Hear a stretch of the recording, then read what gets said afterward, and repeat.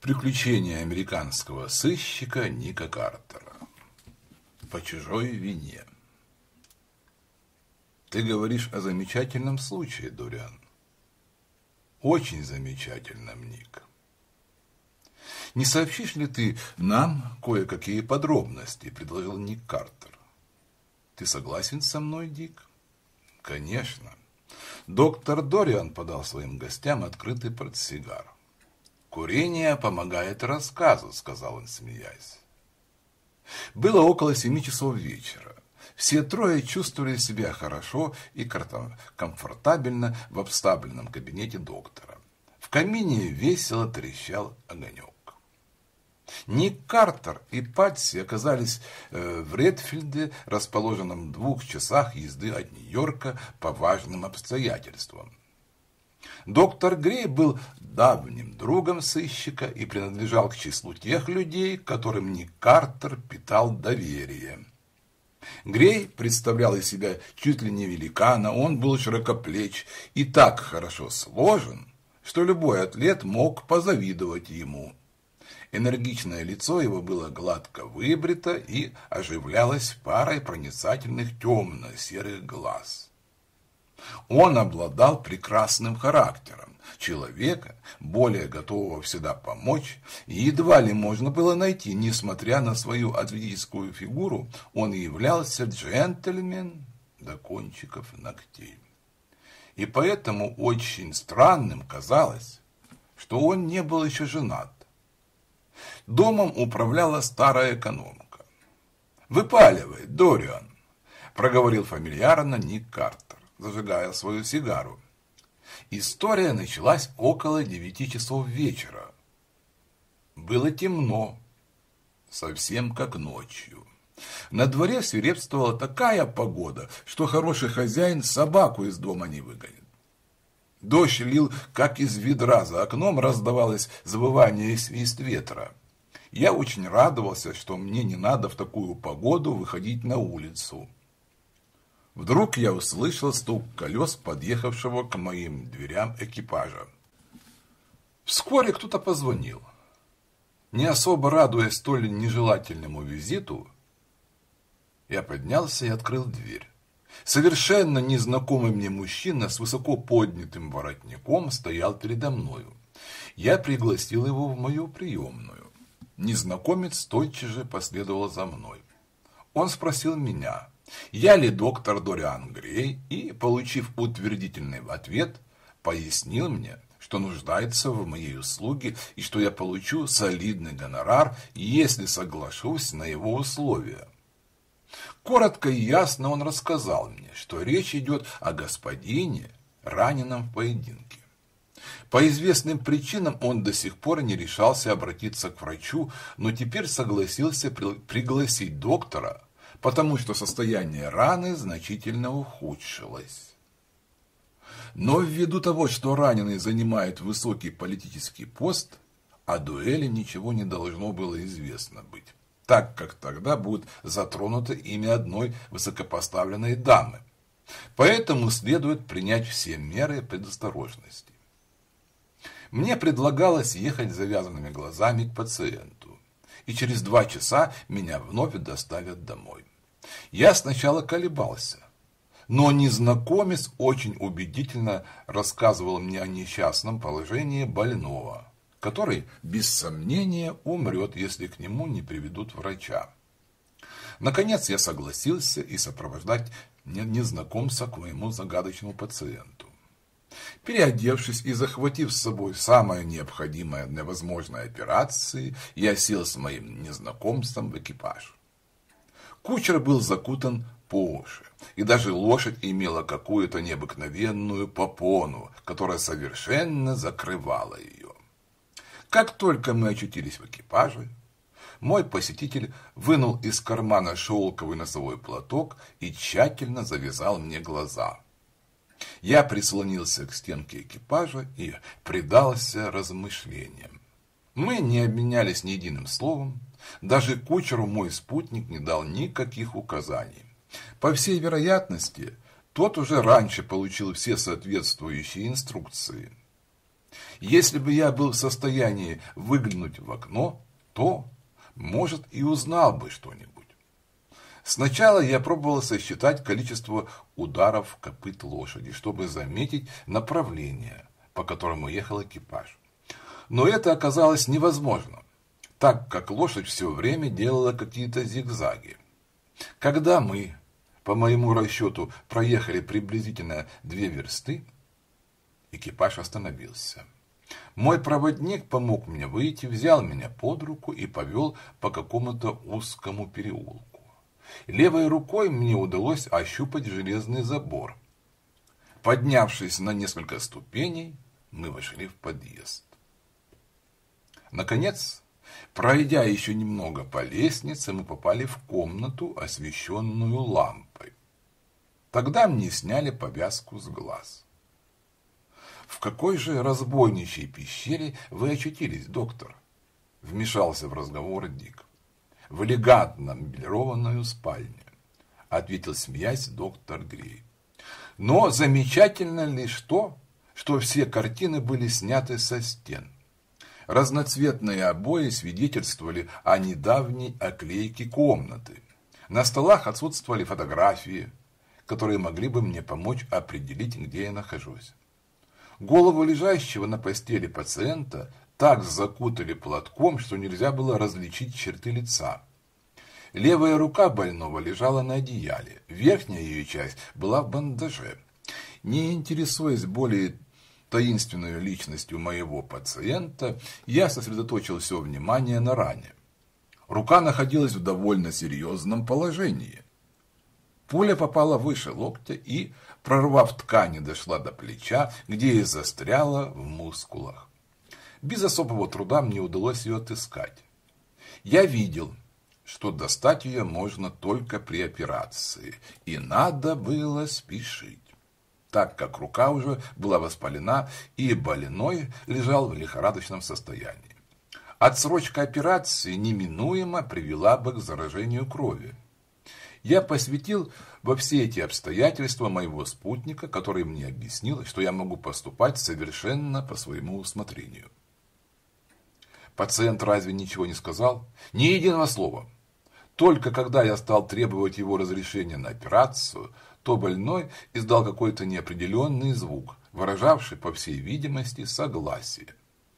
Приготовив горячую воду и необходимые инструменты, я приступил к работе. Ввиду того, что лицо моего пациента было совершенно, совершенно закутано, я не мог правильно дать ему наркоз. И ему пришлось перенести всю боль в полнейшем сознании. К моему удовольствию он выдержал операцию, не проронив ни звука, хотя я сделал глубокий разрез, чтобы достать пулю. Он обладает, наверное, железными нервами, заметил Картер. Доктор Грей кивнул. После удаления пули я наложил бандаж. Затем я дал советы относительно ухода за больным и прописал несколько лекарств. Мой загадочный посетитель снова завязал мне глаза и в экипаже отвез меня домой. Остановившись около дверей, незнакомец снял повязку и подал мне конверт с моим гонораром. Он добавил, что я останусь доволен, и он позволит себе еще раз обратиться ко мне, если этого потребует состояние больного. Часы в моем кабинете показывали 11 часов я действительно отсутствовал два часа. «И что содержал конверт?» – спросил Дик. «Пятьсот долларов». «Ха, это мне нравится!» – воскликнул радостно Ник Картер. «Хоть разочек твое человеколюбие хорошо оплачено. Деньги еще при тебе?» «Нет, я отнес их в банк на следующий день». «Жалко, я охотно взглянул бы на них. Быть может, мне удалось бы установить, в каком банке они были выданы. Таинственный незнакомец приходил еще раз? Нет. Слышал ли ты что-нибудь о своем пациенте? Нет. Он, наверное, поправляется, если уже не совсем здоров. Вот и вся история, вот и вся история, которую я хотел тебе рассказать, Ник. Прибавил доктор, я знаю, ты любишь такие таинственные приключения. Сыщик утвердительно кивнул. Не думаешь ли ты, Дориан, добавил он, что твоя история этим и закончилась. Держу пари. Она будет иметь еще эпилог. Доктор Дориан взглянул на своего друга с нескрываемым удивлением. Похоже на то, как будто ты знаешь э, что-то об этой афере. Я знаю то, что слышал от тебя. Но я пришел к определенным выводам, пробудившим во мне некоторые подозрения. Я знал это раньше. На то ты и не Картер. Скажи, Дориан, твой незнакомый спутник носил бороду, которая закрывала почти треть лица? Да. Потому что он маскировался? Вполне возможно. Разве тебе не бросилось в глаза, что борода фальшивая? Нет. Черты его лица не показались тебе знакомыми, когда ты видел их мельком. Я сам об этом долго думал, но мужчина мне совершенно не знаком. Говорил он хриплым или изменчивым голосом? Да. Я с трудом его понимал. Так и есть. Мужчина знал, что ты узнаешь его по голосу, если он не изменит его. Да и борода должна была маскировать его лицо, потому что ты, наверное, десятки раз встречал его.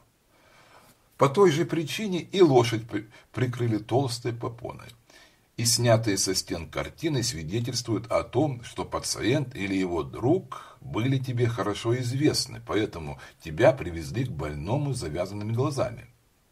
Далее, ты говоришь, лошадь шла зигзагами. Это доказывает, что дом пациента находится по соседству с твоим, и тебя так долго катали по городу, дабы вселить в тебя уверенность, что твой пациент живет э, в другом квартале. Все возможно, задумчиво ответил доктор Грей. Опиши мне твоего больного. Он был высокий или низенький, худощавый или широкоплечий. Он был высокий, широкоплечий. Он не напоминал рабочего? Нет. Мускулы его были не столь крепки, сколь вялы. Складывалось впечатление, как будто он давно уже не напрягал их. Руки выглядели белыми и холеными. Только на указательном пальце правой руки, на поверхности второго сустава, около ногтя, находились участки роговевшей кожи, которые, казалось, были проткнуты многочисленными уколами иглы.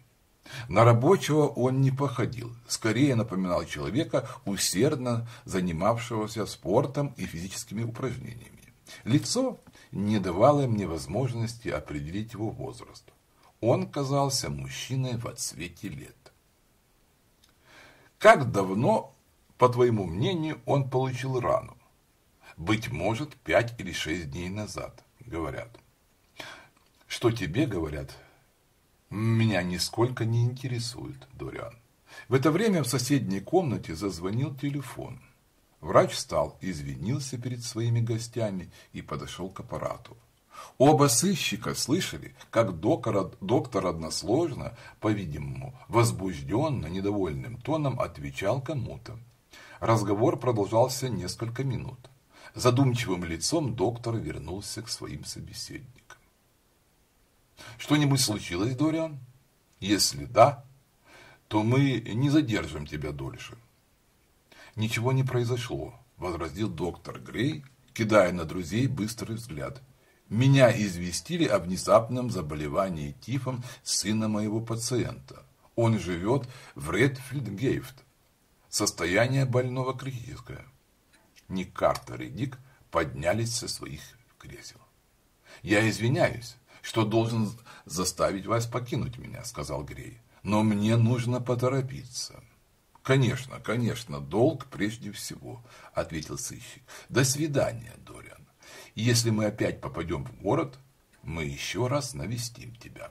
«Отлично», — проговорил доктор, сердечно пожимая своим друзьям руки. «Ты не можешь себе представить мою радость, когда я вижу вас у себя, Ник. Но ты не сказал мне ничего о том, что привело вас в Редфилд. И изложу тебе в двух словах.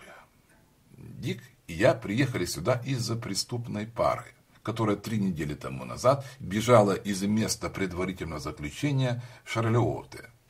А так как она является довольно опасной, то нью-йоркская полиция поручила мне разыскать ее.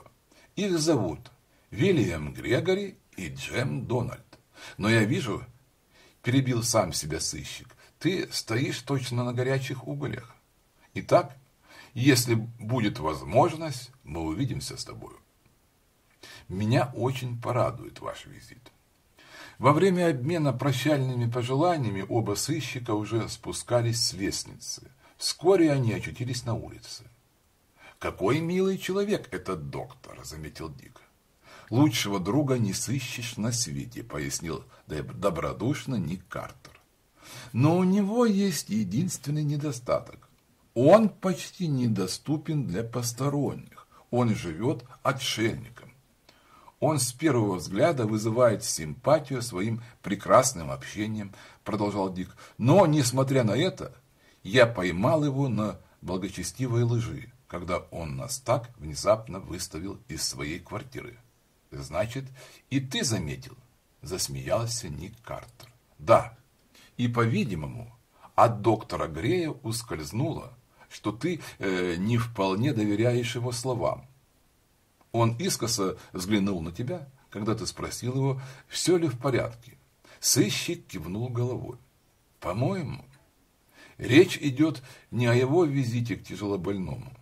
Разговор по телефону носил частный характер, иначе Дориан не выглядел бы таким бледным и не выдал бы себя своим поведением. Каково, какого ты мнения о рассказе доктора Грея? Все в действительности произошло так, как он нам сообщил. Может быть, и женщина здесь замешана, и дуэль спутником Дориана была лишь выдумана с целью убедить врача посетить больного при таких странных обстоятельствах. «Что ты наметил делать сегодня вечером?» – спросил Дик. «Мы вернемся в наш отель и загримируемся. Скоро девять часов, скоро выпорхнут ночные пташки – которые боятся дневного света. Мы посетим притоны, расположенные вдоль реки, а вось и обнаружим там следы преступников. Если в самом деле один из друзей Джима Дональда живет в Редфилде, то мы без труда откроем его место пребывания. Это облегчит нам работу. Совершенно верно. Я захватил с собой Патси. Я переговорил с начальником станции, Патси останется ночью на станции и переодетым будет следить за приходящими и отходящими поездами. Преступники могут быть, э, ведь уехать и с товарным поездом. Так, разговаривая, добрались оба сыщика до Бриджа, лучшей гостиницы в Редфилде. Никто, за исключением доктора Грея, шерифа Джессофа Турьера, и начальника станции не подозревал присутствие Ника Картера в Редфилде. Двадцать минут спустя загримированные сыщики покинули через черный ход свою комнату в отеле. Они беспрепятственно обошли несколько известных притонов, но не смогли обнаружить местоположение преступников в Редфилде. Уже в полночь, после поисков, Ник Картер и Дик вернулись в гостиницу и легли спать полдесятого утра следующего дня к ним явился Патси. Но и он был разочарован, так как достиг лишь отрицательных результатов. Все трое сидели, болтая в гостиной, когда неизвестный молодой человек подбежал к двери. «Скажите, пожалуйста», — обратился он к клерку, стоявшему за своим столом, «где я могу найти мистера Блоссома? Он живет здесь?» Клерк окинул взглядом комнату. Там, справа, в углу, сидит джентльмен с большой бородой. «Что случилось, Морли?» – прибавил он. «У вас вид, как будто за вами дюжина духов гналась». Не отвечая на колкости клерка, Морли подбежал к Нику Картеру. «Я имею честь говорить с мистером Блоссомом?» «Да», — ответил сыщик, вставая. «Что вам угодно?» «Шериф Турнер убедительно просит вас пожаловать к нему» шепотом произнес молодой человек. Он прислал меня сюда, чтобы указать вам дорогу. Что случилось? Джак Гедли, кассир нашего банка, найден мертвым и при таких обстоятельствах, которые, несомненно, указывают на преступление. Вы уверены? Да. Джейсон Турнер пришел к этому выводу, а если он утверждает что-нибудь, то наверняка прав. Ведь он почти 60 лет у нас шерифом. Следуйте за мной. Обратился Ник Картер к своим помощникам. Идемте, молодой человек, я готов следовать за вами. «Вы сказали наш банк», – заметил Ник Картер, идя за молодым человеком. «Вы сами служите в банке?» «Да, сударь. В Национальном банке нет. В Ретвельском сберегательном банке. Он был основан лет 12 тому назад мистером Кириусом Вернером, который является президентом банка. Мистер Вернер слывет богатейшим человеком в нашем городе. Как я вам уже сообщил, кассир Джак Гедли найден сегодня утром мертвым. Кем и где? Мною, мистер Блосс. По крайней мере, я думаю, что я первым обнаружил убитого. Я увидел его лежащим на полу. Итак, вы нашли труп, пройдя в контору по черному ходу. Да, я был крайне поражен, обнаружив, что дверь еще заперта. Достаточно было только бегло осмотреть мистера Гидлея, чтобы убедиться в его смерти. Я выбежал на улицу, желая позвать на помощь. И, к счастью, попал прямо в объятия шерифа, который шел к вам, мистер Блоссом. Осмотр трупа, э, мистер Турнер, послал меня к вам, чтобы попросить вас немедленно прийти. Вот и все, все. Значит, управляющий закрыл дверь или вообще сегодня утром в банке еще не был, произнес задумчиво Ник Картер. Как его зовут? Абель Грин. Он совершенно безобидный человек, он служит у мистера Вернона со дня основания банка. Сколько ему лет? Около сорока. Точно не могу и сказать. Он женат? Морли засмеялся. Он и женат. И девушка, которая выйдет за него замуж, должна еще родиться, потому что Абель Грин является образцом безобразия. Ему нельзя позавидовать, сказал сыщик. Где живет этот Абель Грин? В комнате, расположенной рядом с конюшней мистера Вернена. Он и ест на кухне и числится слугою. Что вы можете сообщить мне о мертвом кассире Гедли? Он живет здесь, в городе? Да, на расстоянии четверти версты от банка. Он был холостым. Его кузина Фанни Джексон вела его хозяйство. Мистера Гедли все любили. Его внезапная насильственная смерть вызовет, наверное, большое возбуждение. Сколько лет было кассиру? Тридцать с половиной. Как долго он служил в банке? С открытием он пользовался доверием мистера Вернера. Почему же он был холостяком? Вы слишком много спрашиваете меня, сударь, но, насколько мне известно, он интересовался одной хорошенькой девушкой, но она обратила свое внимание на другого.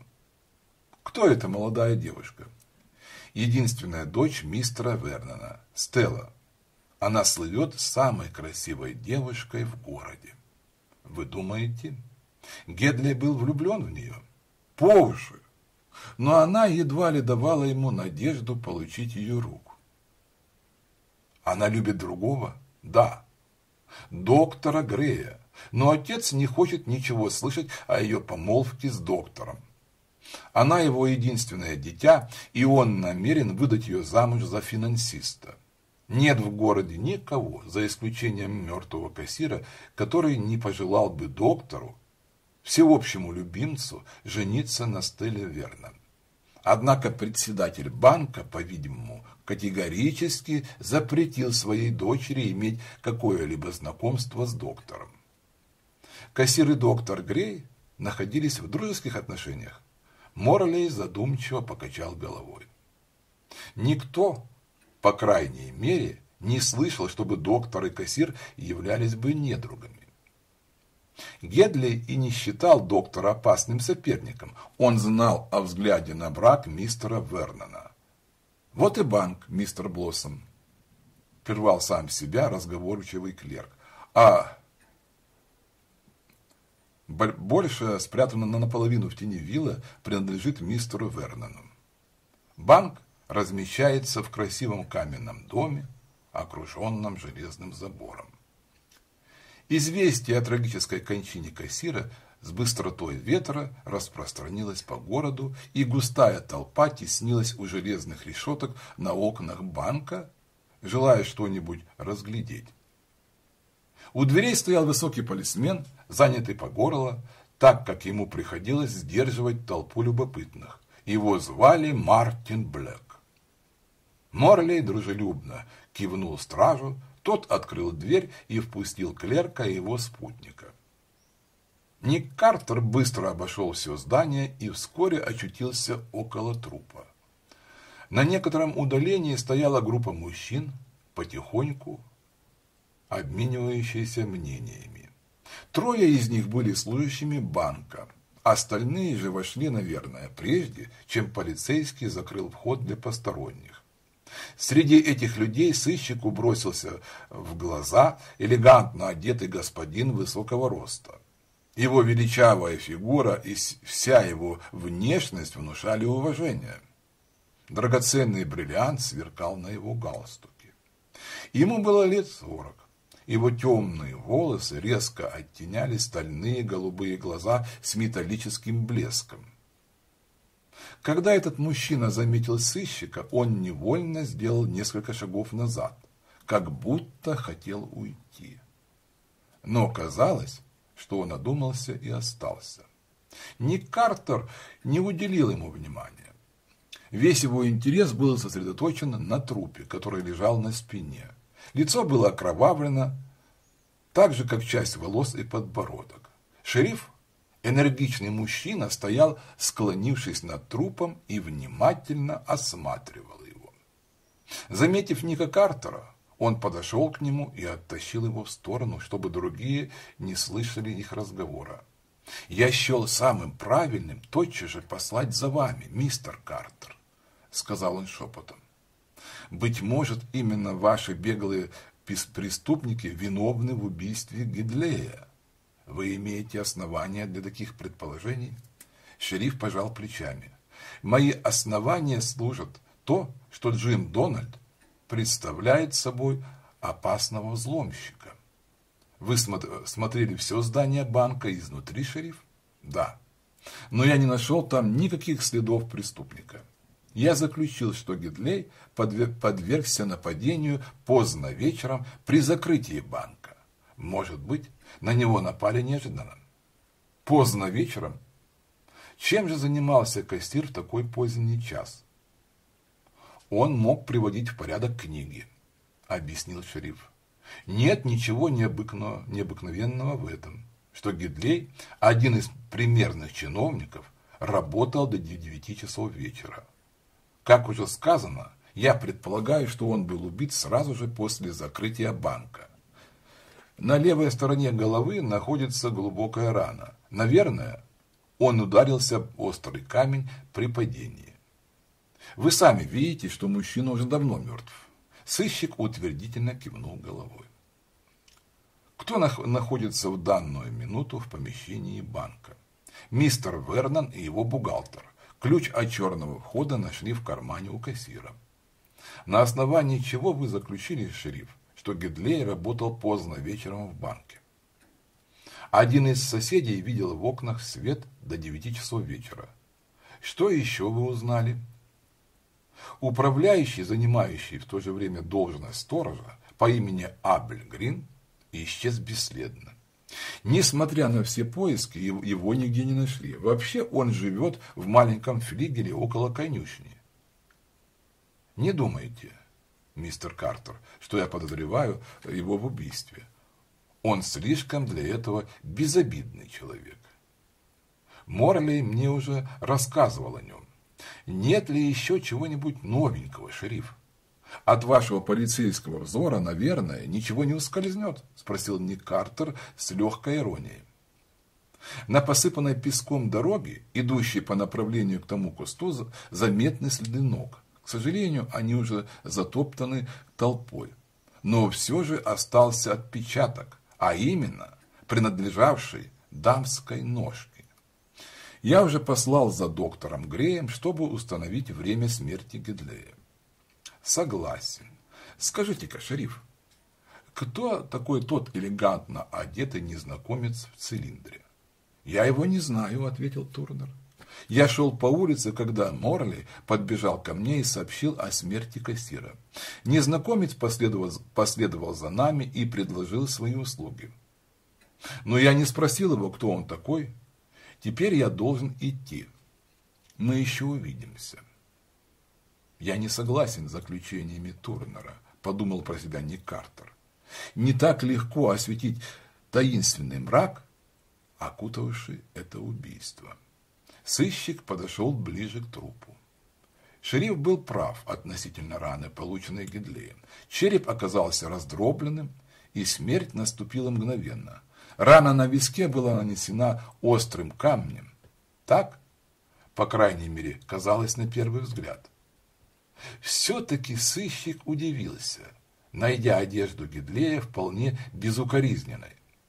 Ни манжеты, ни воротник не сдвинулись со своих мест, что являлось доказательством того, что Гидлею не пришлось сопротивляться.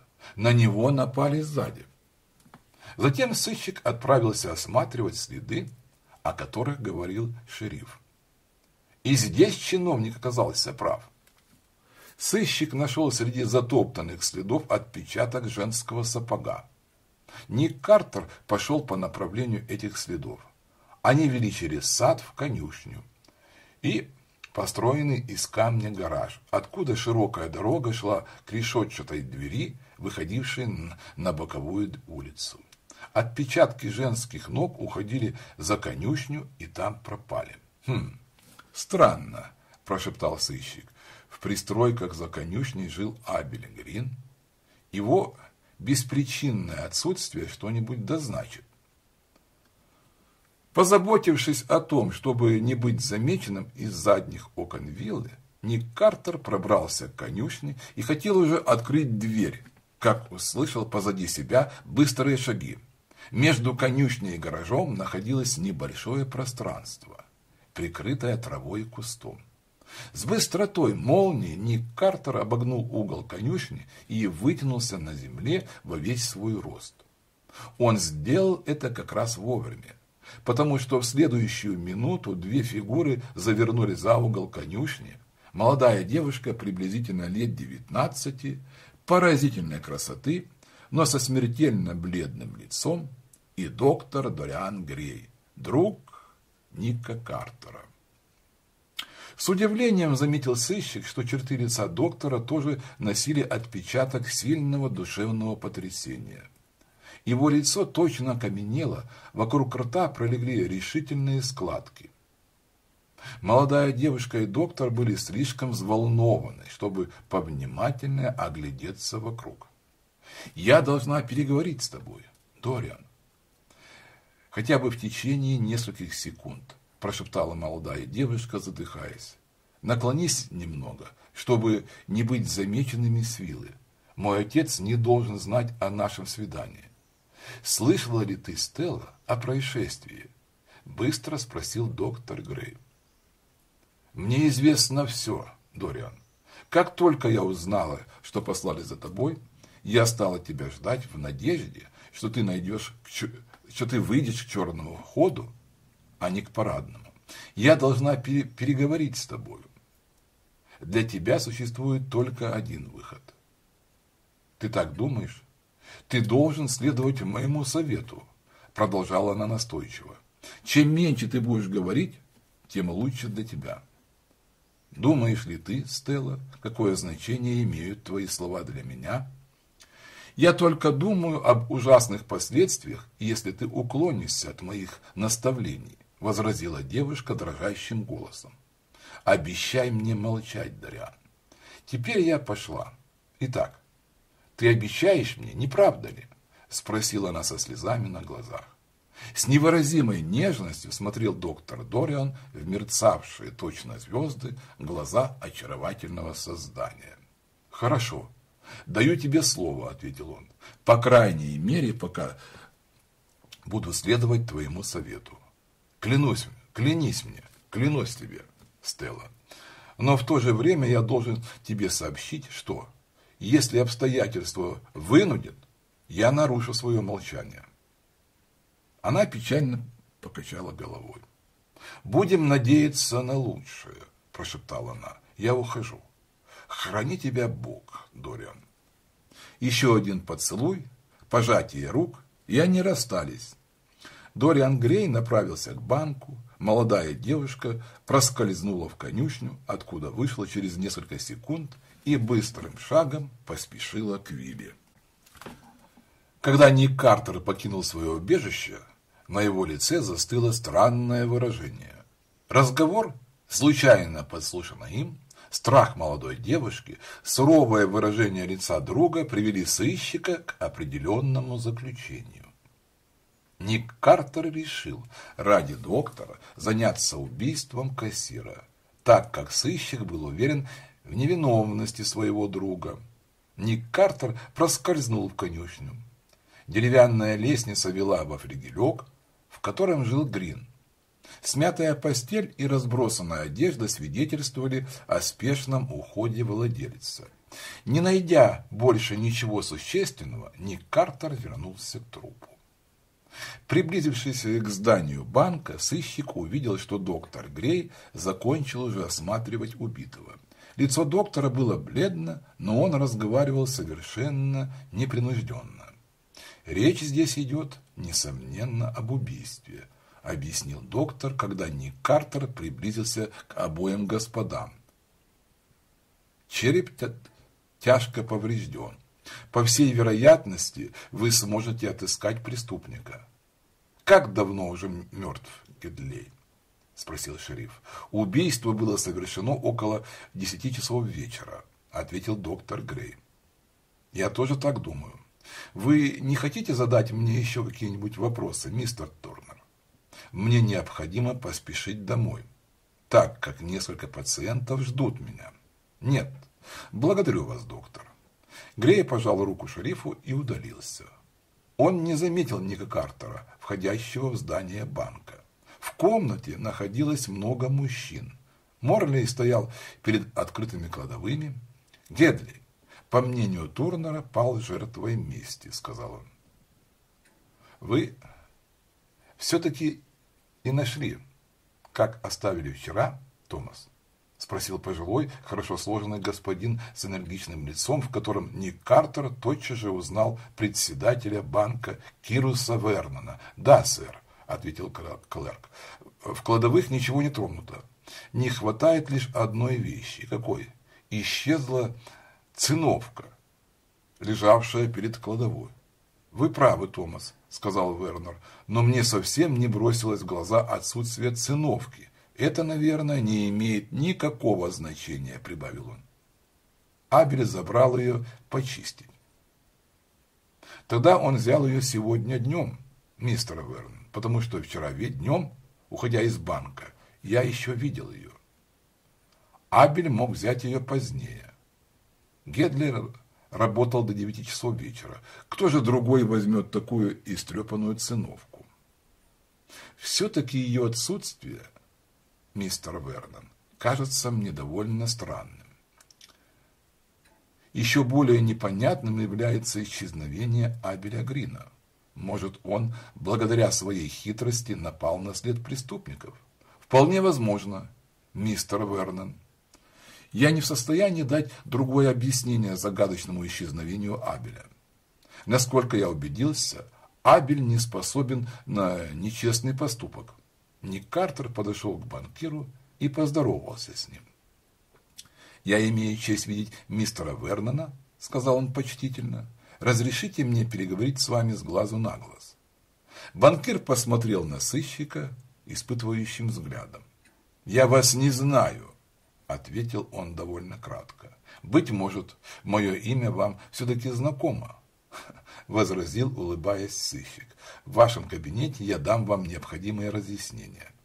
Вернон согласился. Тон и манеры Ника Картера внушили ему уважение. Он повел сыщика в контору и усадил его в кресло. Ник Картер вынул из элегантного бумажника визитную карточку. Прежде чем представиться вам, я хотел бы дать вам понять, мистер Вернон, что рассчитываю на полнейшую скрытность с вашей стороны. Пожалуйста. С этими словами он подал банкиру свою карточку. Вернон взял ее и бегло взглянул на стоявшее там имя. В высшей степени обрадованный, протянул он сыщику руку. «Вы мне действительно не чужой, мистер Картер, так как не существует американца, не знающего вашего имени. Я очень рад с вами познакомиться. Благодарю, сухо ответил сыщик. Разрешите мне спросить, что привело вас в наш город? Продолжал Вернон. Вы займетесь убийством? Сыщик пожал плечами. Официально я не могу этого сделать, потому что по известным причинам я должен сохранять инкогнито.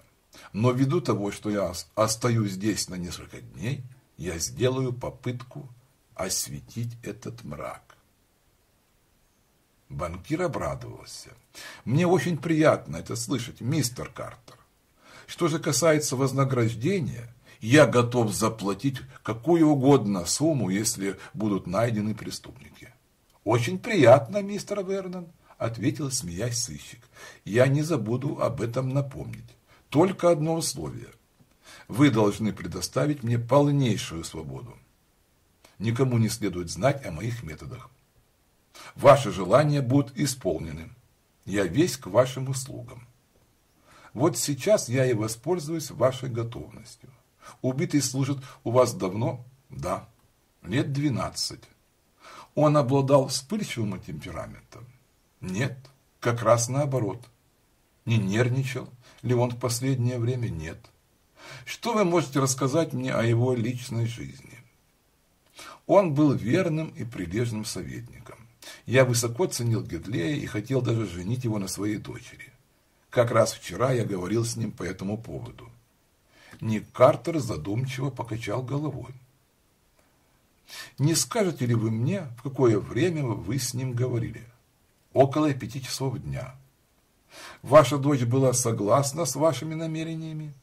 Думаю, что в конце концов она дала бы себя уговорить. Вы говорили с вашей дочерью до вашего решения относительно Гидлея? Нет. Но вчера вечером я беседовал с нею. Каков же был результат? Она обещала подумать. Я больше не принуждал ее. Вы поступили прекрасно, мистер Вернер. Перейдем теперь к другой теме. Я слышал, пропала циновка, лежащая перед дверью. Не опишете ли вы мне ее? Она представляла собой очень толстую циновку, около трех футов в длину и двух в ширину. Откровенно говоря, я не понимаю, какое отношение имеет исчезнувшая циновка к убийству Гедлея. Для нас, сыщиков, играет важную роль даже самая незначительная мелочь. Сыщик поднялся. Пока все, мистер Вернон. Банкир еще раз крепко пожал сыщику руку. Я буду рассчитывать, мистер Картер, что вы тотчас же дадите мне знать, как только придете к какому-нибудь результату. Я уверен, вам скоро удастся поймать убийц, чего я, к сожалению, не могу ожидать от шерифа Турнера, который не внушает мне уважения как хранитель законов. Четверть часа спустя Ник, Картер сидел в своем отеле и делился своими мыслями с Диком и Патси. «Я предполагаю, — проговорил Дик, — что доктор Грей, узнав о намерении мистера Вернона, поспешил переговорить с кассиром. Во время горячего спора он свалил его, может быть, он слегка ударил его, но так как доктор обладает громадной физической силой, то удар раздробил череп кассира. Ник Картер поднял брови. На первый взгляд твое мнение кажется правдоподобным. Но существуют и другие гипотезы, и ты скоро поймешь, почему я взялся за это дело. Вернемся к нашему вчерашнему визиту к доктору Грею. Говорившего по телефону была никто иная, как Стелла Вернон, сообщившая Дорину о решении отца. Вполне возможно, что они отправились к Галилею, между ними возник разговор, окончившееся падением соперника Дориана, не ожидавшего столь печального результата. Если же кассир лишь слегка ударил кассира, доктор, то последний был убит кем-то другим. За это говорит много обстоятельств, почему вдруг исчез Абель Грин, куда делась сценовка, что значит отпечаток женского каблука. По всей вероятности, он принадлежит Стелле Вернон, сказал Дик. Сыщик покачал головой. Не думаю. Тут может быть замешана и другая женщина. Следы ведут за конюшню. Женщина шла к Абелю Грину. «А откуда ты взял эту таинственную особу? Ставил Дик. Я лишь только потом буду в состоянии дать вам ответ. Я хочу оградить доктора Дриана, моего друга, от подозрения в убийстве. Турнер предполагает, что убийцами являются мои беглые преступники. Он, кажется, прав. Ты имеешь в виду Грегори и Дональда? У меня нет веских доказательств, но все возможно. Если они действительно находятся в Редфилде, то они, заметив огни в банке, могли напасть на кассира и убить его, намереваясь ограбить банк. Но чего-то испугались и удрали. Не лучше ли расспросить доктора Дориана, предложил Дик. Но под каким, не под каким видом, решительно ответил Ник Картер. Он обещал Стелле Вернера молчать. Даже если мы будем угрожать ему, то и, и опасность будет ему угрожать, то он будет молчать. Теперь вы должны заняться поимкой убийцы. Быть может, кто-нибудь издали видел, как доктор повалил на пол своего соперника и как Дориан ушел вместе со своей возлюбленной. Незнакомец воспользовался случаем и добил Гедлея, чтобы потом обвинить доктора Грея и под этим предлогом выманить у него деньги. «Так и должно быть!» – воскликнул Патси. «Совершенно верно, Патси. И я предоставляю тебе работать в этом направлении. Тебе не придется напрягать свое остроумие, так как если такой человек действительно существует, то, по всей вероятности, вскоре вечером посетит доктора Грея. Следи за ним или за нею и постарайся подслушать их разговор. Каким образом ты это сделаешь? Это твое дело. Войдя в три часа дня в свой отель, Ник Картер тотчас же заметил элегантно одетого незнакомца в цилиндре, которого он видел сегодня возле трупа. Сыщик сел в кресло и зажег сигару. «Страшное преступление совершено сегодня утром», – начал сыщик. «Действительно», – ответил незнакомец. «Вы находитесь здесь по делам?» «Да, сэр». «Я представитель меховой фирмы «Штейнер» на Бродвее в Нью-Йорке. Позвольте мне представиться. Кауфман. Вот моя карточка. Сыщик поблагодарил его и извинился, что не имеет при себе свою. Совершенно излишне, мистер Картер. Сыщик не мог скрыть своего удивления. Как я вижу, вы меня знаете, но откуда? На вас обратили мое внимание некоторые из моих знакомых в Нью-Йорке, когда вы проходили по Бродвею. Хм, понимаю. Вы, наверное, интересуетесь новой сенсацией в Редфилде? Немного, уклончиво ответил сыщик. Что вам известно об этой афере, мистер Кауфман? Проходя вчера вечером мимо банка, я видел врача, осматривавшего сегодня труп вместе с шерифом. Да что вы говорите? Когда же это было? Несколько минут после десяти, если я не ошибаюсь. Я шел в гостиницу, а доктор прошел мимо меня в противоположном направлении. Он вышел из банка или шел к нему? Из банка. Вы живете тоже в отеле, мистер Кауфман? Да. Тогда мы еще увидимся, проговорил сыщик, почтительно поднимаясь из своего кресла. Покинув отель, сыщик намеревался осмотреть квартиру убитого. Скоро он, добрался до нужного дома. На дверях висел, согласно американским обычаям, венок с широкой черной лентой, свидетельство смерти кого-нибудь из мужчин, живущих в доме. Если же умрет кто-нибудь из женщин, то на венке будет красоваться белая лента. Занавеси окон были опущены. Казалось, в квартире вообще никого не было. «Кузины Гидлея нет дома», – пробормотал сыщик. «Я приду в более благоприятное время. Теперь я направлюсь к шерифу, чтобы разузнать о его намерениях. Несмотря на все старания сыщика, ему не удалось повидать Турнера. Это можно было объяснить лишь тем, что шериф охотился за мнимым преступником. Патси спрятался около дома доктора Грея. Около дома. Только лишь около девяти часов его наблюдательность была вознаграждена. Он заметил робко оглядывающуюся по сторонам женскую фигуру. Осмотрев сначала окна дома, она перешла через дорогу и открыла калитку полисадника. «Ага», – подумал Патси, – она хотела сперва убедиться, дома ли Грей, но посмотрим. Так как дверь открылась не сразу, Патси имел возможность подробно разглядеть даму. Но единственное, что смог обнаружить сыщик, была стройная высокая фигура – Лицо и вообще всю голову окутывала густая вуаль. Дама носила длинное складку манто, но так как она не имела перчаток, то сыщик заметил белую холеную ручку, на пальцах которой сверкали многочисленные бриллианты. Доктор Грей сам отворил дверь. Кротко поздоровавшись, незнакомка вошла в дом и вскоре Патси увидел в окне кабинета силуэт врача. «Без сомнения, это Стелла Вернон», – заключил Патси.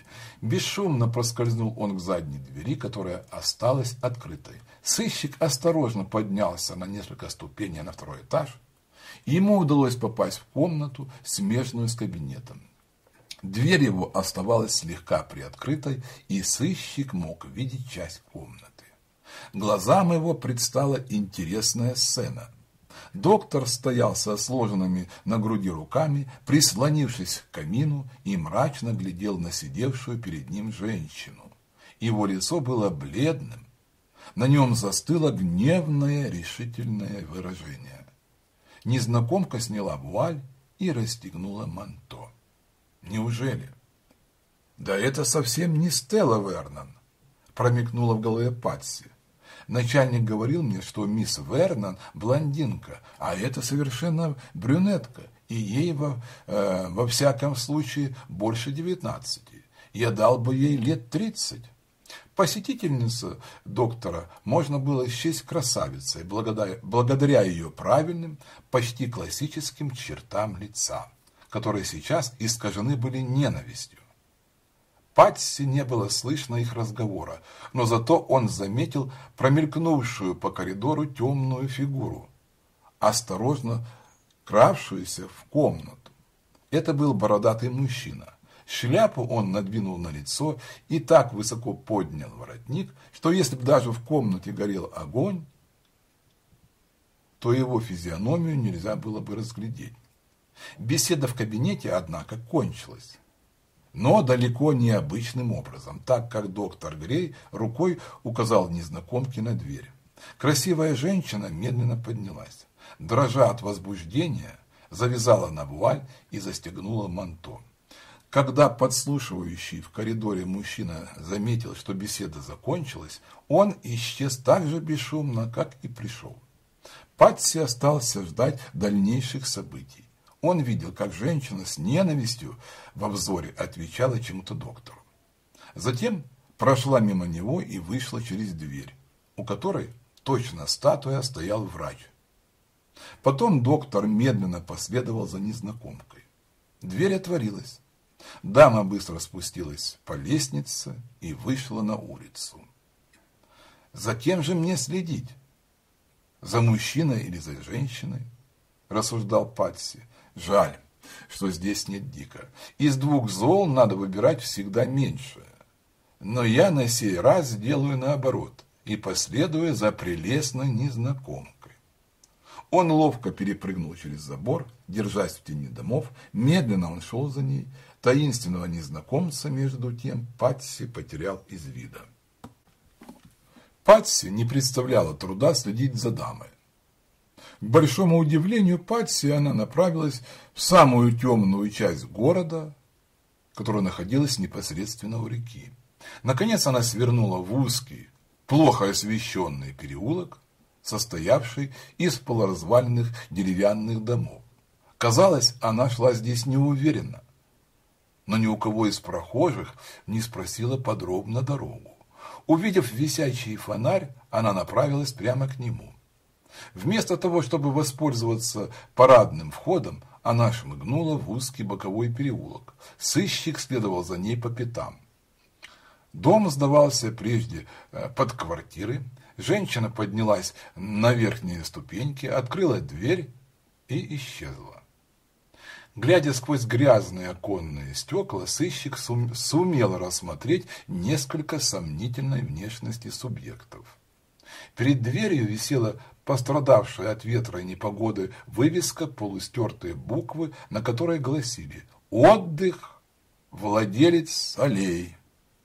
Вскоре сыщик оказался позади дома. На первом этаже были ярко освещены две комнаты. Простая занавесь оказалась не совсем спущенной. На дворе ни души. Повсюду валялись пустые ящики, пивные бочки, бутылки и тому подобное. Патси много дал бы за лестницу. Осторожно ощупывая пространство вокруг себя, он искал предмет – который можно было бы прислонить к стене, чтобы добраться до окна. Патси подкатил несколько пивных бочек к окну. С большой осторожностью он влез наверх, пока не очутился на самой верхней бочке. Теперь он мог удобно держаться за подоконник. Его глазам представилась бедно обставленная кухня. На неопрятном столе стояла тускло горевшая керосиновая лампа, и около нее сидели три человека. Среди них находилась и женщина, преследуемая Патси. Двое остальных были мужчинами. Один из них обладал красным лицом, рыжими волосами. Он не носил ни сюртука, ни жилетки, и на ногах красовались дешевые домашние туфли. Другому можно было дать лет сорок. Это был брюнет, хорошо одетый, правая рука находилась в повязке. К своему большому удовольствию Патси слышал каждое слово, произносимое в комнате. Человек с забинтованной рукой заговорил первым. «Представляю вам с Эмма Оливер. Те, которые давно его знают, то есть его близкие друзья и полиция, называют его просто Сригас М. «Перестаньте болтать, Дональд!» Нетерпеливо прервала его женщина. «Я пришла сюда не знакомиться с вами. Где Грегори? Я должна непременно с ним поговорить». «Что произошло?» – спросил Дональд, наклонившись немного вперед. «Что-нибудь не в порядке? Почему вам нужно поговорить с Биллом?» «Вы узнаете потом. Где он? Я должна кое-что сообщить ему». Он сегодня утром пошел разведать, в какую сторону дует ветер. Но до сих пор он еще не вернулся назад, докладывал Дональд. Грегори – чертенок. Он знает трусость лишь по имени. Даю вам мое честное слово. Все-таки он должен был бы вернуться. Который сейчас час? Слева. Около десяти, ответил хозяин, взглянув на свои тяжелые золотые часы. Позднее чем я думал, пробормотал Дональд. Во всяком случае, э, Билли может каждую минуту прийти. Если ты занят чем-нибудь, Слига, то я не стану больше тебя задерживать. Посмотри-ка, кто там? Прервал себя Дональд, бросая неуверенный взгляд на дверь. Я ясно слышал, как трещали ступеньки. Хозяин открыл ведущую в коридор дверь, по лестнице поднимался мужчина, вскоре очутившийся на кухне. Он был одет э, по последней моде и носил элегантный цилиндр. В нем легко можно было узнать э, представителя меховой фирмы из Нью-Йорка, назвавшегося Нику Картеру Кауфманом.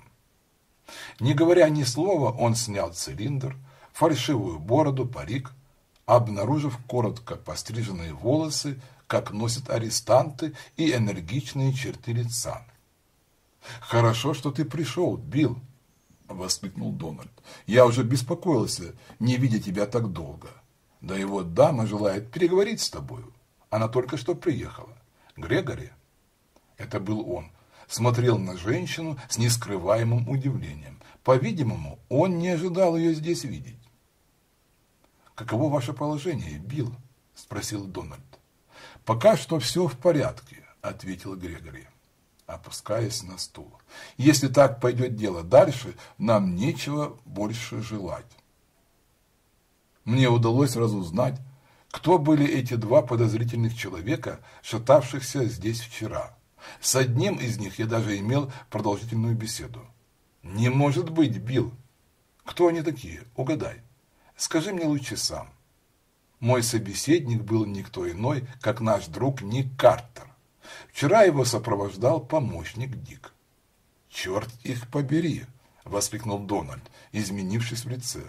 Что же касается нас, то мы оба в полной безопасности. Во всяком случае, инспектор Нью-Йоркской полиции направил сыщиков по нашим следам. Так я и думал, пробурчал Дональд. Я уже говорил, что мне удалось днем иметь продолжительный разговор с Ником Картером и пустить ему блоху в ухо. Но ты уже сам знаешь об этом. То же самое я сделал и с шерифом. Последний точно стал следить за объектом, который я ему указал. Точно голодная форель за мухою. «Ты направил их по фальшивым следам?» – засмеялся Дональд с нескрываемым удовольствием. «Зачем вы сюда пришли?» – обратился Грегори э, к поздней посетительнице. «Я пришла сюда переговорить с вами», – ответила она ворчливым голосом. «О чем? О мужчине. Я видела с ним сегодня вечером. Вы имеете в виду Костоправа? Конечно. Кого же другого? Где вы его видели? В его квартире. Я нанесла ему визит, чтобы узнать. Чему такая поспешность? Сердито прервал ее Григорий. Разве вы не могли подождать лучшего времени э, для вашего предприятия? Какой черт поручил вам вмешиваться в наше дело? Для меня ожидание стало невыносимым, воскликнула женщина нетерпеливо. Я хотела знать, как обстоят с ним дела. Вы довольны? Да, ответила она с горечью, и также знаю, что была прежде выгнана Греем из его квартиры. Если вы не исполните мои требования, я пойду в полицию и расскажу всю историю.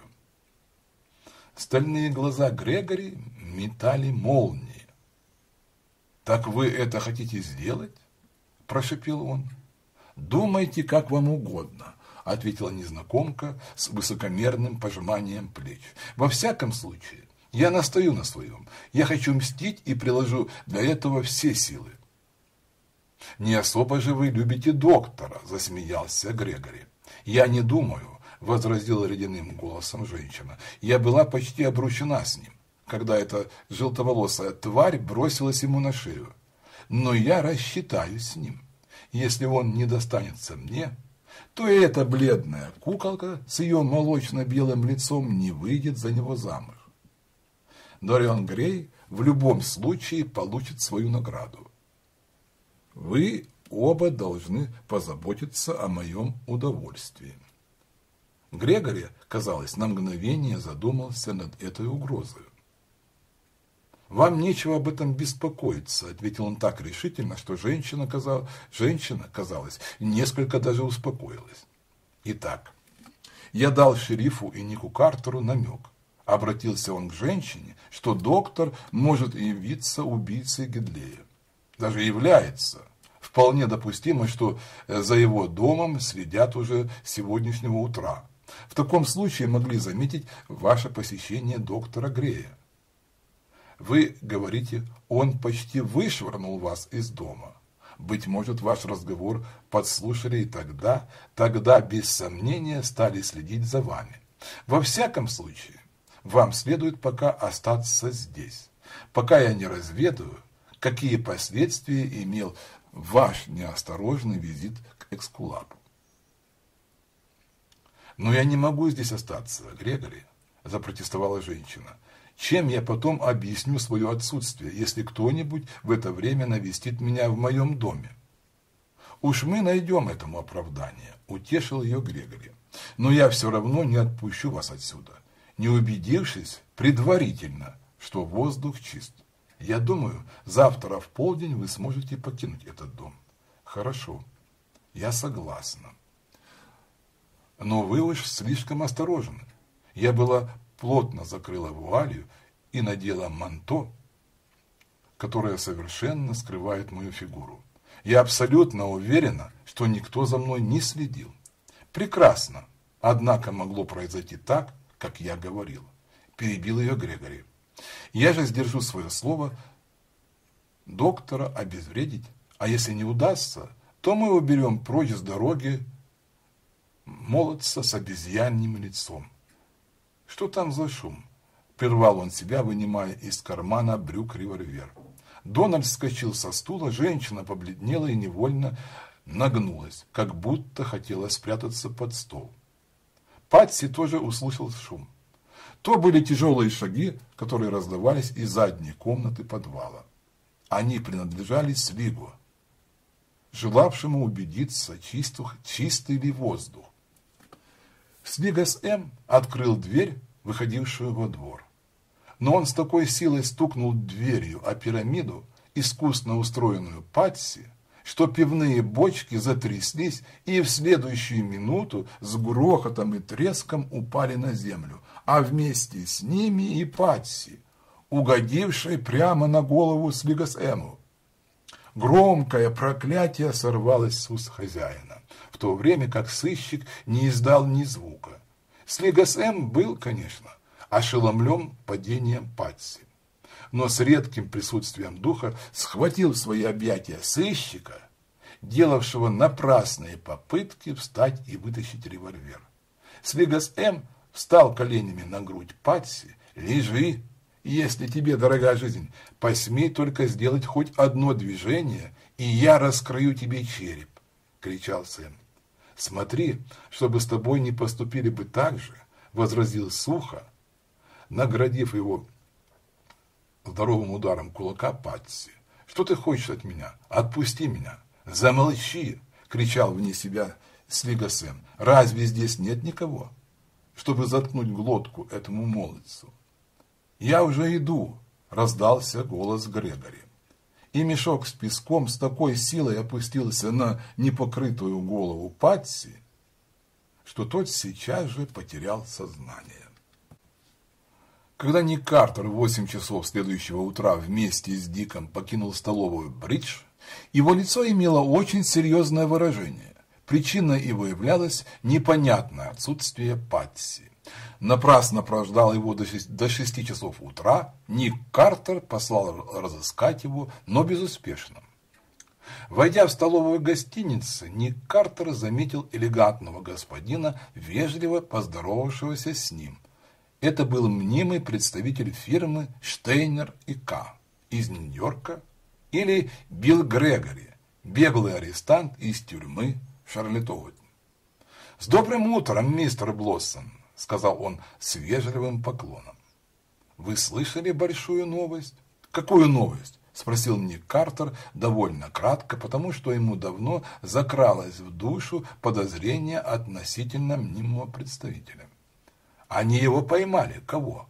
Убийцу кассира. Вчера поздно вечером его арестовали э, шериф Турнер. И кто же вы думаете оказался убийцей? Доктор Грей. Хм, да неужели? Ответил сыщик, э, не выдавая своего изумления. Вам известны какие-нибудь э, подробности? Нет. Какого вашего мне об этом мнения? Шериф Торнем жестоко ошибается. Нет. Раздался в эту минуту позади Ника Картера бас шерифа, случайно зашедшего к сыщику. Я хорошо знаю, что делаю. Я только высказал свое мнение, спокойно возразил Ник Картер. Какие обвинения вы имеете против доктора? Доктор сам сознался. Да что вы говорите? Да, это может послужить лучшим доказательством справедливости моего поступка. Ник Картер пожал плечами. Если он сам раскаялся, то, конечно, он и виновен в преступлении. Но как вам пришла в голову мысль заподозрить доктора? Мистер Кауфан дал мне намек, он видел доктора. Пожалуйста, не вмешивайте меня в аферу, прервал его Грегори. Время не позволит мне выступить в качестве свидетеля. Не стоит беспокоиться, мистер Кауфман. Вам не придется предстать перед судом так как доктор сознался в своем преступлении. «Надеюсь», — сказал, вставая Грегори. Он раскланялся с присутствующими и пошел другой дорогой. Ник Картер бросил на Дика многозначительный взгляд. Тот понял, что ему надо делать. Спустя некоторое время он тоже покинул отель. Конечно, он не последовал сразу за мнимым представителем а направился сначала в противоположную сторону. Ник Картер сделал шерифу знак. Они отошли вглубь гостиной, где их разговор не мог быть подслушан. «Вы сказали только, что мистер Кауфман указал вам верные следы», – начал Ник Картер. «Что он сообщил вам еще?» Он мне сказал, что позавчера вечером доктор Грей находился вблизи банка объяснил Турнер. Ему показалось, что доктор э, будто бы выходил из банка, но наверняка он не мог утверждать. Во всяком случае, он встретил Грея на улице, когда тот покидал банк. Вот и все, чем поделился со мной Кауфман. Но этого было достаточно, чтобы пробудить мое подозрение. Вчера вечером я пошел к доктору для того, чтобы допросить его. Конечно, я ждал окончания приема. Едва я сделал несколько шагов к дому, как на противоположной стороне появилась дама, закутанная в густую вуаль. Она быстро исчезла в доме Грея, другой бы растерялся. Но я не унывал, нет. Мне посчастливилось прокрасться в квартиру доктора и наблюдать его разговор с незнакомкой. Я сразу же узнал ее. Это прежняя возлюбленная доктора, который давно с ней расстался. Она как будто чего-то требовала от Грея, быть может, снова сойти с нею. И по ее лицу я понял, что она угрожала ему разоблачением, если он не пойдет навстречу ее желаниям. Но доктор не соглашался и попросту выставил ее из квартиры. Я больше не думал о. Я покинул дом тем же путем, каким и пришел, через четверть часа вернулся назад и приступил к допросу. Доктор сознался в убийстве. Да, да, если шериф Турнер поймал тебя, то он не выпустит тебя более. Я тоже так думаю. Я торжественно беру назад свои слова, обвинявшие вас в ошибке. Заблуждался лишь я. Еще одно слово, шериф. Вы разыскали прежнюю любовь доктора и допросили ее в ночном визите. Я, конечно, хотел это сделать, но не нашел ее дома. Вы узнали, где она живет теперь? Нет. Но я думаю, я думаю, что она э, до дня похорон кассира поселилась у кого-нибудь из своих знакомых. Вам известно, что она и есть кузина убитого, которая в течение многих лет вела его хозяйство. Ее зовут Фанни Джексон. Вы великолепно все сделали, похвалил сыщик. Если я узнаю что-нибудь полезное для вас, я вам сразу сообщу. Большое спасибо, мистер Картер. До свидания.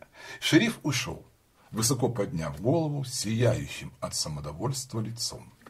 Вскоре сыщик вышел из гостиницы.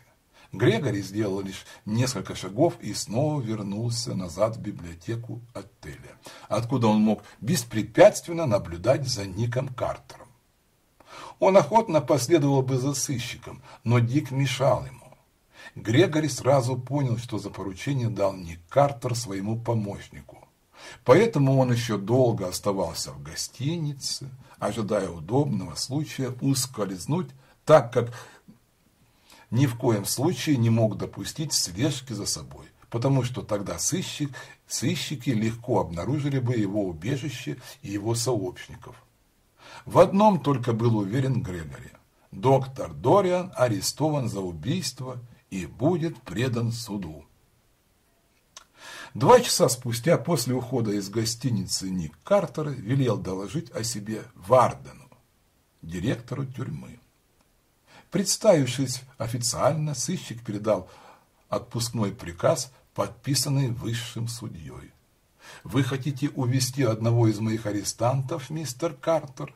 – пошутил Варден. «Да, я хочу выкупить его на несколько часов.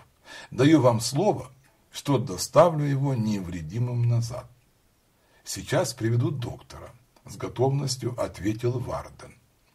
Нику Картеру не пришлось долго ждать, так как через 10 минут в дверях показалась высокая фигура его друга. Выражение муки появилось на лице Дариана при виде Ника Картера. «Зачем ты пришел сюда, Ник?» – спросил он. «Чтобы узнать, каким образом все несчастья обрушились на твою голову?» – дружески ответил сыщик, пожимая руку доктору. «Я хочу все перевернуть вверх дном лишь бы вытащить тебя из этого неприятного положения. Дариан Грей решительно покачал головой. Несмотря на всю твою гениальность, тебе это не удастся, Ник. Если ты только не ошибаешься, пошутил сыщик. Хотя я не такой Геркулес, как ты все-таки, я надеюсь, разрушить все препятствия твоей жизни. Слабая усмешка показалась на бледном лице доктора. Идем. Сядь около меня, Дориан, обратился сыщик к заключенному. Я должен переговорить с тобой. Я хочу задать тебе несколько вопросов. Значит, это допрос. Как хочешь. Мне очень жаль. Но ты вчера нас здорово надул. Человеком, вызывавшим тебя к телефону, была Стелла Вернон. Она сообщила тебе по телефону о намерении отца выдать ее замуж за кассира Гедлея. Она просила явиться к ней на свидание около десяти часов вечера. Доктор смотрел на своего друга с неописуемым изумлением. «Ты ясновидящий или обладаешь э, сверхъестественной силой?» – воскликнул он беспомощно. «Ничего подобного. Но скажи, прав я или нет?» «Да». «Я знал это и раньше», – возразил, смеясь Ник Картер. «Итак, ты встретился с мисс Стеллой, с которой ты тайно обручен около заднего фасада банка. Там ты столкнулся в темноте с Гидлеем. Вы заспорили, и ты под конец ударил кассира. Я не обменялся ни единым словом с этим негодяем. Невольно вырвалось у доктора. Только он говорил. Он сделал двусмысленное замечание относительно пребывания мисс Вернон в столь укромном местечке. Понимаю, кровь бросилась тебе в голову, и ты дал ему почувствовать свою тяжелую руку. Да, но я не собирался нанести ему смертельный удар. Ты просто свалил его на землю. Да. Ты убедился в том, что твое наказание не принесло вреда? Нет. Увидев лежащего Гидлея, я поспешил уйти с мисс Вернон. Поговорив с ней немного, я отправился домой, но совсем другой дорогой. Можешь себе представить, какие чувства охватили меня на следующее утро, когда я был вызван шерифом, чтобы засвидетельствовать смерть Генлея. Другой удрал бы, наверное. Ты же остался при исполнении своих обязанностей. По дороге ты встретил мисс Стеллу, которая заклинала тебя молчать хотя бы какое-то время – «Ты мне кажешься все загадочнее, Ник», — воскликнул Дориан. «Откуда ты все знаешь? Ты говорил с мисс Вернон?» «Нет. После, при удобном случае, я все тебе объясню. Я пришел взять тебя с собой. От главного судьи я получил разрешение. Попроси подать твою шляпу, пальто. Мы сейчас покинем тюрьму. На ближайшем углу нас ждет закрытый экипаж. Качая головой, доктор последовал указаниям сыщика.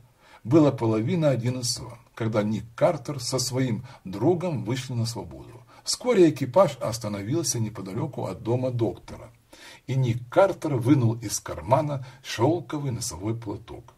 «Теперь, с твоего разрешения, я завяжу тебе глаза. Я хочу разыскать то место, куда ты был привезен в ненастную ночь с завязанными глазами. Я не понимаю тебя, Ник. Это ни к чему. Главное, ты должен точно исполнить мои указания. Доктор позволил надеть на глаза повязку. Четверть часа спустя карета остановилась перед домом, в котором жил убитый кассир. Ник Картер помог своему другу выйти из экипажа и подвел его вплотную к забору. «Ощупай забор, Дориан. Не тот ли это, вдоль которого ты шел?» «Ты прав, Ник», — ответил в высшей степени удивленный врач. «Наверное, мы идем по дороге, э, э, которая шла к заднему фасаду дома». «Верно». Сыщик повел своего друга вдоль решетки, находившейся впереди дома и отделявшей полисадник от улицы. «Теперь ты идешь со мной по ступеням черной лестницы», — заметил доктор Грей, поднимая сыщиком по парадному входу. «Конечно», — сухо ответил Ник Картер. Быстро открыл отмычкой замок и очутился со своим другом в передней. «Мы поднимаемся сейчас на верхний этаж. Не правда ли?» «Да». «Где находилась комната больного?» налево от, от лестницы, Ник Картер вел своего друга в указанное помещение. «Ну, вот и пришли. Милый доктор, сними свою повязку и внимательно осмотрись вокруг». Доктор сорвал платок с глаз. У него вырвался возглас удивления. «Невозможно! Мы действительно стоим в комнате больного. Те же стулья, кровать, ширма, обои. Что это значит, Ник?» Сыщик усадил дрожащего от волнения друга на стул. «Теперь я тебе объясню. У нас много времени, так как дом в данную минуту пуст. Кто его владелец? Сейчас узнаешь. Помнишь, я тебе еще тогда говорил, что твои глаза были завязаны лишь для того, чтобы ты не узнал окрестность. Тебя прижали к забору окружающего полисадник и, а затем провели через парадный вход. Тебе сказали, что больной – важное лицо, а на самом деле это долго раз, разыскиваемый преступник, недавно бежавший из дома предварительного заключения. Поэтому у твоего пациента были белые руки и сколотый указательный палец правой руки. Он портной. Кучер тоже был преступник. Товарищ первого каторжника. Кто же привел меня сюда? Кассир сберегательного банка Джон Гендлей. Тот, убийцей которого ты хочешь быть. Хочу быть? Повторил доктор, нервно схватив друга за руку. Не хочешь ли ты сказать, что я его не убил? Да. Я все объясню тебе, спокойно ответил Ник Картер. Доктор закрыл лицо руками. Но я же убил его. Никто другой не мог прикончить его, совершить это преступление. Я уверен, что ты не убийца. Да. Это уже слишком для моего рассудка. Я теряю голову, простонал бледный от волнения доктор. Охотно верю. Но потерпи немного, потерпи, и все выяснится. Джон Гедлей дал убежище преступникам в своем доме. Почему? Для этого существовало только одно объяснение. Гидлей растратил огромную сумму денег и задумал ограбить банк, чтобы таким образом скрыть свое преступление. План он выработал еще до того, как Вернон высказал желание выдать за него свою дочь, о чем он узнал лишь вечером накануне дня своей смерти. Этот же вечер был назначен для исполнения задуманного плана – по всей вероятности, у Гидлея не хватило времени известить своих сообщников о перемене обстоятельств. Теперь, когда он мог сделаться зятем президента банка, для него стали доступны все способы скрыть свое преступление до женитьбы на Стелле. Тогда ему представлялась возможность пополнить растраченную сумму. Он ждал в банке своих сообщников, с которыми и поделился новостями. В то же время он намеревался закрыть дверь кладовой. Возник спор, во время которого два преступника убили кассира. Я никак не могу поверить тебе. Кто же тогда, кого же я тогда лишил жизни? Абеля Грина. Как я слышал, он такого же роста, как и Гедлин. Его убрали, чтобы свалить вину на тебя. Я думаю так. Гидлей с сообщниками находился в банке, когда ты и Стелла были оскорблены Абелем Грином. Конечно, не узнавшим вас. В возбуждении ты не заметил, что имеешь дело не с Гедлеем, так как Абель Грин находился вблизи банка, ты и принял его за Гедлея. Преступники из окон банка наблюдали всю сцену. С ними была Фанни Джексон. Ей пришла в голову мысль свалить вину за убийство Гидлея на тебя. Этим она хотела отомстить тебе за измену. После того, как Грин очухался от сильного удара, он отправился к конюшне. Преступники положили на его место труп Гидлея, сильно раскрыв ему череп о камень. Что ты и сам видел. Для того, чтобы обвинить тебя, надо было спрятать Грина. Фанни Джексон пошла в конюшню, уговорив пойти с собой Абеля Грина. Держу пари, бедный парень в данную минуту находился во власти негодяев, находится, которые припрятали его в безопасном местечке. Даже кажется странным, что ты с такой самоуверенностью обо всем рассказываешь, как будто ты сам при этом присутствовал, удивленно воскликнул доктор. Каким образом у тебя создалась эта теория? Отчасти здесь играет роль циновка, лежавшая обычно перед входом в кладовую. Я предполагаю, Гидлей упал на нее, когда ему был нанесен удар, вследствие чего циновка оказалась забрызганной кровью, поэтому преступники поспешили убрать ее. Конечно, иначе все тотчас узнали бы, а, что убийство совершено в банке, а не на улице. Все узнали бы. Я задам тебе еще несколько вопросов о Фанни Джексон, Дориан. Продолжил Ник Картер. Ты был с ней в более чем дружеских отношениях? Я немного флиртовал с ней, но и только, пояснил доктор. Я знал, что после нашего разрыва она возненавидела Стеллу, безумно ревнуя ее ко мне. Несколько слов, брошенных ею мне в лицо, показали, что ей известно кое-что об убийстве Генлея. Но я не подал ей вида и указал ей на дверь. Да, она принадлежит к шайке преступников, заметил Ник Картер. Я был же сегодня у нее в доме и захватил с собой башмаки Фанни Джексон. Каблук как раз подошел к следам, найденным вблизи места преступления, около конюшни. Преступники забрали Абеля Грина и Фанни Джексон скрывается у них, ожидая, какое направление примет весь этот злодейский спектакль. Лицо доктора просияло, как небо после бури.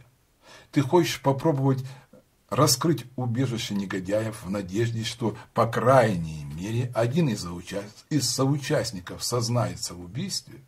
Правильно, я это и сделаю. Не будь я Ником Картером. – воскликнул сыщик, сверкая глазами и вставая со стула. «У меня нет времени отвезти тебя назад в тюрьму», – продолжал он. «Поэтому будь так любезен, вернись туда сам. Я не боюсь, что ты убежишь. При моем, при моем вторичном посещении я принесу тебе известие о твоей невиновности. О, Ник, как мне благодарить тебя!» – воскликнул доктор, бывший от волнения, едва в состоянии говорить. Он схватил руку своего друга и судорожно сжал ее. «Ты же мой друг, Дориан. Неужели я должен был смотреть, как за преступление негодяев ты будешь, ты будешь осужден?» Несколько минут спустя они оба покинули дом. Доктор отправился в тюрьму, но с более легким сердцем, нежели когда он следовал туда в сопровождении шерифа и его помощников. Ник Картер возвратился в гостиницу «Бридж», где он нашел Дика. Мистер Кауфман не делал попытку подсматривать за мной. Был его первый вопрос. Нет, он все до обеденное, так сказать, время шатался около гостиницы. В данную минуту он находится в своей комнате. Не скажете ли мне, мистер, где я могу найти мистера Блоссома?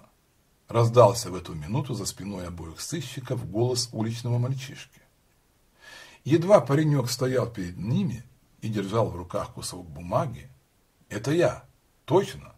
«Да, я могу это подтвердить», – серьезно ответил Дик. Мальчик подал сыщику бумагу, такую же грязную, как и его руки. «Читай же». Придя в себя, Патси увидел, что находится в кухне с Лигас Эмма, привязанный за руки и за ногу к стулу. На стоявшем перед ним столе лежали два револьвера и наручники. По другую сторону стола сидели Грегори, Дональд, Фанни Джексон и Слигас М. «Ты снова вернулся в мир печали и слез, мой мальчик», – насмехался Грегори. «Ты должен поблагодарить нас за то, что мы не отправили тебя к праотцам. Быть может, вы сами туда попадете, когда вас посадят на электрический стул. Что произойдет в скором времени?» Тем же тоном ответил Патси. Грегори стал прислушиваться.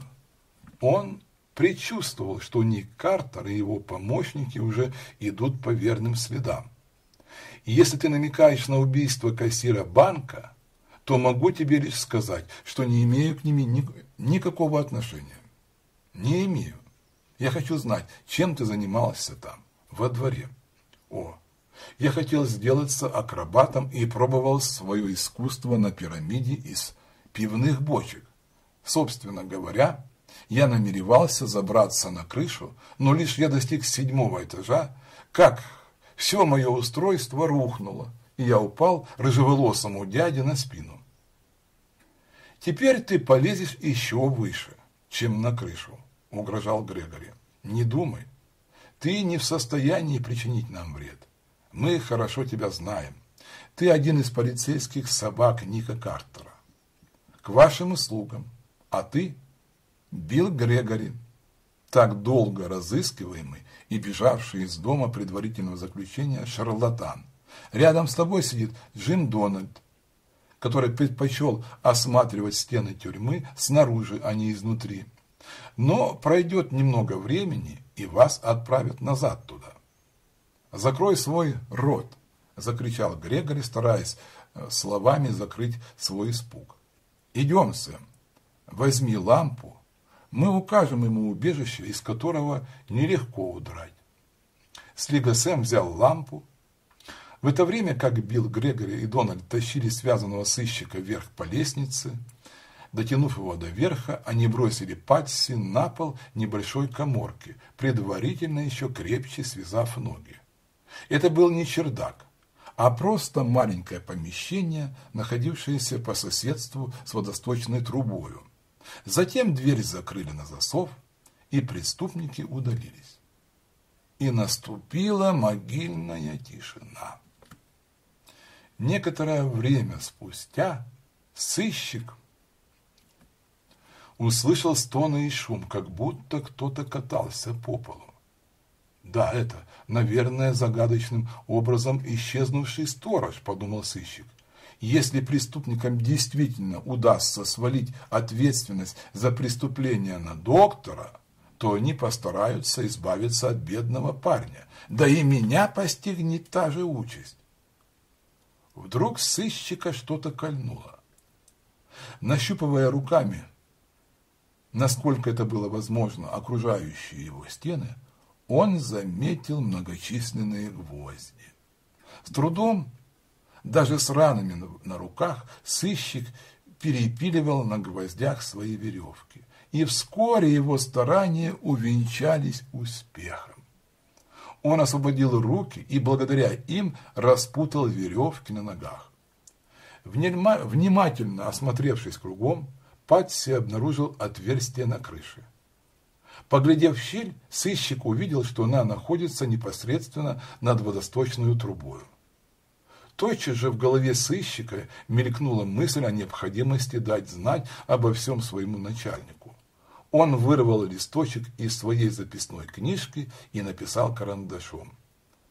Нашедшего эту записку просят немедленно доставить ее мистеру Блоссону, проживающему в отеле «Бридж». Сделавший это получит большое вознаграждение. На другой стороне сыщик извещал о своем несчастье. Заперт на чердаке одного дома, На первом этаже помещается гостиница Сэма Салея «Отдых». Здание стоит на реке. Здесь же находится Абель Грин. Кроме того, Фанни Джексон, Грегори и Дональд. Они убийцы Гедлея. Спешите. В одном из своих карманов он нашел револьверный патрон, завернул в него записку и опустил по водосточной трубе на улицу. Записка была найдена бездель... бездельничающим уличным мальчишкой, который не отказался заработать хорошие деньги и потому поспешил доставить записку мистеру Блоссону. Час спустя дом был окружен многочисленной полицией Редфилда. Все преступники пойманы, и Патси вместе с несчастным Абелем Грином освобождены. Ник Картер подверг злодеев допросу. Фанни Джексон созналась во всем, так что невиновность доктора была немедленно доказана. Все предположения Ника Картера оказались правильными. Во время одной из попыток ограбить банк Дональда ранили в плечо. Грегори перенес его в дом. Гидлея куда со всеми мерами предосторожности пригласили доктора Грея. Ник Картер первый принес доктору Дриану Грею известие об освобождении его от подозрения в убийстве. Директор банка, наконец, согласился на брак своей дочери с Дарианом Греем. Бедного, слабоумного Абеля Грина доктор взял к себе, пообещав Нику Картеру всю жизнь заботиться о нем.